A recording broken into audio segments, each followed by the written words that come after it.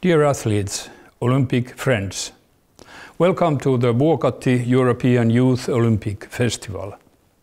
After a long wait, over 2,000 participants from all over Europe have gathered here in Vuokatti to take part in one of Europe's biggest multisport events.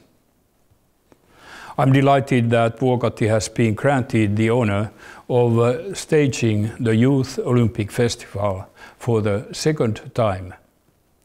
None of you would be here without hard work and dedication. You have every reason to be proud of yourselves. I hope you remember to enjoy the occasion. Sports is not only about winning, it's also about striving to do your best achieving personal goals, and building friendships. I would like to thank the organizers and the hundreds of volunteers for making this event possible.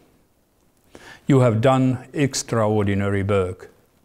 To all the athletes, I wish you the best of luck. I now declare the Vuokatti 2022 European Youth Olympic Festival open.